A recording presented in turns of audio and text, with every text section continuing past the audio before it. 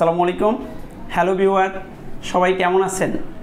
আমি আসছি সরকারি চাকরির সফলতার গল্প নিয়ে যার জীবনের প্রথম ভাইবাতেই প্রথম পরীক্ষায় সরকারি চাকরি। বলছিলাম কুড়িগ্রাম জেলার উলিপুর উপজেলার চিলমারি চিলমারি উপজেলার পাত্রখাতা গ্রামের ছেলের কথা যার স্বপ্ন ছিল একটা সরকারি চাকরি। আর সেই স্বপ্ন পূরণ করেছে ঢাকা বহুবাসী সার্টিফিকেট ট্রেনিং সেন্টারের মাধ্যমে সম্পূর্ণ তার যোগ্যতায়। ফ্রি এবং ফেয়ারভাবে শুধু ঢাকা বহুবাসীর সঠিক দিক নির্দেশনাই আজকে সে এই পর্যায়ে আসছে। আজকেই তার সরকারি চাকরি হলো। স্বাস্থ্য অধিদপ্তরে বায়োমেডিক্যাল টেকনিশিয়ান পদে। আসলে চাকরিটা তার জন্য মানে একটা স্বপ্নের মতো ছিল। কিন্তু এত সহজে যে সে সরকারি চাকরি পাবে, এটা তার ধারণা ছিল না। তবে তার বিশ্বাস ছিল, ঢাকা বহুবাসী সার্টিফিকেট ট্রেনিং সেন্টারে ভর্তি হলেই সরকারি চাকরি হবে, যেটা আজকে সে প্রমাণিত। এবং সে আজকেও উচ্ছ্বসিত, উল্লাসিত যে তার এই চাকরি পেয়ে। আর আসলে তার খবরটা যখন সে সকালে আমাকে দিল, আমার কাছেই অনেক আনন্দের লাগছে। কারণ এই ছেলেটা ছিল, যেই ম্যাচে থাকে, সেই ম্যাচের সর্ব, কি বলব, একদম বোকাশোকা একটা ছেলে। আর ওর সাথে যারা ছিল, সবাই অনেক ক্লেবার অনেক ট্যালেন্ট বাট একে কেউ গুরুত্ব দিত না। তো যাই হোক আলহামদুলিল্লাহ আলহামদুলিল্লাহ। যিনি এই বোকাশোকা ছেলেটারই প্রথম ভাইবাতি চাকরি হয়ে গেছে। এই সাধারণ একটা ছেলের চাকরি হয়েছে। আপনাদের হয়তো বা বিশ্বাস করতে কষ্টকর হচ্ছে যে আমরা এত স্মার্ট আমরা এত ট্যালেন্ট আমাদের কেন চাকরি হয়নি? আসলে এর গোপন রহস্যটা কি? কি পেয়েছে? সে ঢাকা বহুবাসীতে এই ছয় মাসের জীবনের প্রথম পরীক্ষায় চাকরি পেল। সেই কথা আমরা ইউসুফের মুখ থেকেই শুনব। যিনি চাকরি পেয়েছেন আজকে। হ্যাঁ হ্যালো ভিউয়ার আপনার যারা এখনও চাকরি পান নাই, তারা কীভাবে চাকরি পাবেন? সেটাও ইউসুফ বলবে। কীভাবে আসলো? ইউসুফ ঢাকা বহুবাসীতে সেই কথা। ইউসুফ, আপনার লেখাপড়া এবং আপনার গ্রামের পরিচয়টা যদি একটু বলতেন। আসসালামু আলাইকুম রহমতুল্লাহ। আমি মোহাম্মদ ইউসুফ। আমার বাড়ি হচ্ছে কুড়িগ্রাম জেলার চিলমারি থানার পাত্রখাতা গ্রামে। আমি পড়াশোনা করেছি রংপুর পলিটেকনিক ইনস্টিটিউট থেকে, ডিপ্লোমা ইঞ্জিনিয়ারিং করেছি। এরপরে আমি ঢাকা কলেজ থেকে অর্থনীতি বিভাগে অনার্স করেছি মাস্টার্স এখনও করিনি। তো আমি যখন দুই হাজার আঠারো সালে এই ঢাকাতে আসি তো আমি আমি কম্পিউটারের মোটামুটি কাজ জানতাম, কিন্তু আমার একটা সরকারি সার্টিফিকেট ছিল না। তো আমি এই সার্টিফিকেটের জন্য আমি অনলাইনে সার্চ করি যে আশেপাশে আমি আজিমপুরে থাকতাম। তো আমি তখন সার্চ করি যে আজিমপুরের আশেপাশে কোনো কম্পিউটারের ট্রেনিং সেন্টার আছে কি না তো তখন আমি এই ঢাকা বহুবাসীর সন্ধান পাই এখানে আসি। তো এখানে আসার পর আমি দেখি যে এখানে কম্পিউটারের প্র্যাকটিক্যাল কাজ শেখানো হয় এবং লিপি শেখানো হয় এবং সেই সাথে সরকারি চাকরির জন্য লিখিত প্রিপারেশন দেওয়া হয় এখানে? মিস্টার ইউসুফ এটাই কিন্তু বাংলাদেশের প্রথম প্রতিষ্ঠান লিখিত জগতে। বাংলা অঙ্ক ইংলিশ সাধারণ জ্ঞান ক্লাসগুলো আপনি আসছিলেন মূলত একটা সার্টিফিকেটের জন্য। বাট এসে দেখেন এখানে শর্ট হ্যান্ড টাইপ কম্পিউটার সবই শেখানো হচ্ছে। সাথে যেটা আপনার প্রয়োজন লিখিত পরীক্ষার জন্য সেটাও এখানে প্রশিক্ষণ দেওয়া হচ্ছে।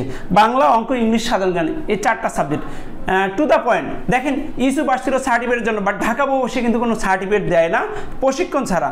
সেই প্রশিক্ষণ নিয়েই আজকে সে চাকরি পেয়েছে, এবং সবচেয়ে বড় প্লাস পয়েন্ট তার হলো যে, আমার লিখিত পরীক্ষার প্রয়োজন। সেই লিখিত প্রশিক্ষণটাই সে কিন্তু এখানে পেয়েছেন। আজকে সে এই লিখিত প্রশিক্ষণ নিয়ে সফল। জি। তো তারপরে যখন আমি দেখলাম যে এখানে এভাবে প্রিপারেশন দেওয়া হয়, তো আমার মানে আর্থিক সমস্যা ছিল, আমি তখন ভর্তি হতে পারিনি দুই হাজার আঠারো সালে। পরে আমি, আমার যদি ডিপ্লোমা করা ছিল, আমি ওয়ালটন কোম্পানিতে তখন চাকরি করা শুরু করি। তো আমি ভাবছিলাম যে ওখানে এক বছর চাকরি করে যে টাকাটা আমি ওখানে জমাবো, সেই টাকা দিয়ে আমি পরবর্তীতে এই ঢাকা বহুবাসীতে কোচিং করে আমি একটি সরকারি চাকরি নেব, এমন একটি আমার ধারণা ছিল। তো পরে আমি কিছু টাকা জমাই সেখানে এক বছরই, কিন্তু আমার মা খুবই অসুস্থ হয়ে যান। তো মা অসুস্থ হয়ে যাওয়ার পরে ওই টাকাগুলো আর কিছু টাকা ঋণ করে আমরা মায়ের চিকিৎসা করাই। কিন্তু মা এখনও সুস্থ হননি। তো তারপরে যখন আমার মানে পড়াশোনা শেষের দিকে চলে আসলে। আমার একটা মানে চাকরির তো একটা চিন্তা ছিল যে একটা সরকারি চাকরি করব। তো পরে আব্বা মাকে যখন বললাম যে আমার একটা সরকারি চাকরি দরকার, আমার মনে হচ্ছে যে আমি যদি ওখানে যেতে পারি তাহলে আমার একটা সরকারি চাকরি হবে। আপনার দৃঢ় বিশ্বাস যে ঢাকা বহুবাসীতে ভর্তি হলে আপনার সরকারি চাকরি হবে। যেহেতু আমি দেখে গেছি দেখে গেছেন। দেখেন ইউসুফ আসছিল চাকরির জন্য পরে পড়ার জন্য ভর্তি হতে পারেনি পরে সে কি টার্গেট ছিল যে আমি এক বছর ওয়ালটন শোরুমে চাকরি করব কিছু টাকা জমা করব সেই টাকা দিয়ে আমি প্রতিষ্ঠানে ভর্তি হব। ইতিমধ্যে তার মা অসুস্থ হয়ে পড়ছেন সম্পূর্ণ টাকা তার মায়ের পিছনে খরচ করেছেন। দেন এরপরে কি হলো? এরপরে যখন আমি আমার বাবা মাকে বললাম যে আমার একটা চাকরি যেহেতু দরকার আর ওখানে গেলে আমার চাকরি হবে ইনশাল্লাহ। তো আমাকে কিছু টাকা ম্যানেজ করে দেন যেন আমি ওখানে যেয়ে পড়তে পারি। থেকে খেয়ে পড়তে পারেন হ্যাঁ। এরপরে আমাকে আমার আব্বা এক লাখ টাকা মানে আমার এক বোনের কাছ থেকে ধার করে নিয়ে দেয় মানে ঋণ নিয়ে দেয়। তো সেই টাকা নিয়ে আমি ঢাকায় পাড়ি জমাই। তারপরে আমি দুই হাজার তেইশ সালের জানুয়ারি মাসে স্যার আমি আসি। এই এই তেইশ সালে জানুয়ারি মাসে ভর্তি হয়েছে দেখেন। এবং মানে ছয় মাস আমি এখানে প্রশিক্ষণ নেই। নেওয়ার পরে আলহামদুলিল্লাহ এখন আজকে আমার আল্লাহ আমার দিকে তাকিয়েছেন এবং আমার আশা পূরণ করেছেন আমার বাবা মার আশা পূরণ করেছেন। তো আমার বাবা মা অনেক খুশি আজকে। আমার বাবা অনেক কষ্ট করেছেন আমার জন্য। এক লক্ষ টাকা কি শেষ করে ফেলছেন? না স্যার এখনও টাকা কিছু আছে। এক লক্ষ টাকা খরচ হয়নি। বাবা লোন করে তাকে এক লক্ষ টাকা দিয়ে পাঠিয়েছে। শুধু ঢাকা বউবাসীর প্রতি তাদের অগাধ বিশ্বাস ছিল বলে বাবা মায়ের। আজকে সন্তান এক লক্ষ টাকা ঋণ নিয়ে এই ঢাকা পাঠাচ্ছে। আমি- কিন্তু এক লক্ষ টাকা শেষ না হইতেই তার ছয় মাসেই প্রথম ভাইবাতি চাকরি হয়েছে আলহামদুলিল্লাহ। এই এক লক্ষ টাকা যে আমি নিয়ে আসছি এটা শুধু আমার মেস খরচ জন্য মানে মেসের খরচের জন্য। আচ্ছা আচ্ছা। থাকা খাওয়ার যে খরচটা সেটার জন্য। চাকরি নিতে আমার মানে কোথাও কাউকে টাকা পয়সা দিতে হয়নি। কত টাকা খরচ হয়েছে এই পর্যন্ত থাকা হয় আপনার? এই এক লক্ষ টাকার? স্যার আমার প্রায় আশি হাজার টাকার মতো খরচ প্রায় আশি হাজার টাকা খরচ হয়ে গেল সে সোনার হরিণ পেয়ে গেল। এখনও তার হাতে বিশ হাজার টাকা আছে। আলহামদুলিল্লাহ। আর আমি শুধু এখানে যে অ্যাপ্লাই করার যে টাকাটা। দুইশো তেইশ টাকা আর আর যাতায়াতের যে খরচটা এটা। আমার খরচ হয়েছে চাকরির পিছনে। তাছাড়া আমার মেধাতেই আলহামদুলিল্লাহ আমার চাকরি হয়েছে। আলহামদুলিল্লাহ।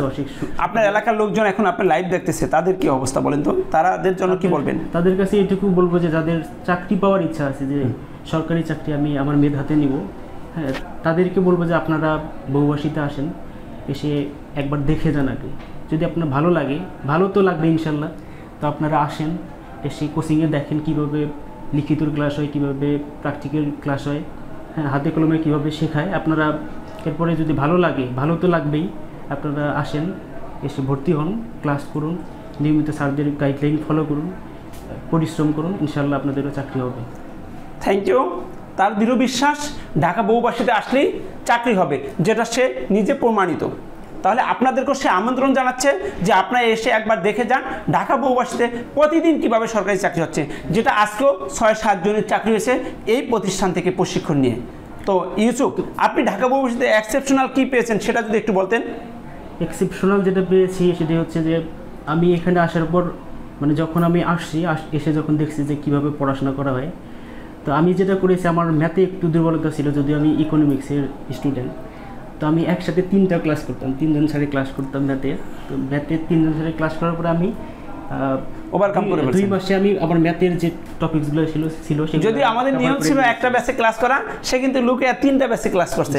তো আলহামদুলিল্লাহ সে দুই মাসে তার ম্যাথ কমপ্লিট করে ফেলছে। এটা তার একটা ট্যালেন্ট আমি বলব। আর যেটি করতাম রাশেদ ভাই হচ্ছে আমার রুমমেট রাশেদ। ও আচ্ছা আচ্ছা আচ্ছা হ্যাঁ। তো উনি আমাকে মানে সকালবেলা করে নিয়ে আসতেন টাইপ করার জন্য। আচ্ছা, হ্যাঁ, আচ্ছা। তো আমি সকালবেলা প্রায় দুই ঘণ্টা করে টাইপ করতাম। ওয়াও আজকে অপ্রিয় সত্যি কথাগুলো বলে ফেলছেন যেটা আমরা জানতাম না। সে সকালবেলায় দুই ঘণ্টা টাইপ করতো। আর আর যেটি করতাম আমি সকালে ভাত নিয়ে আসতাম দুপুরে খাওয়ার জন্য। সকালে আসতাম আর রাতে চলে যেতাম সকালে দুপুরের খাবার নিয়ে আসতেন সারাদিন থাকতেন রাতের বেলা যেতেন যদিও বাসা তার কাছে। হ্যালো বিওয়ার শুনছেন? সরকারি চাকরি সফলতার গল্প। যিনি আজকে পেয়েছেন সেই কুড়িগ্রাম জেলার ছেলেটি। আজকে সরকারি চাকরি পেয়েছেন।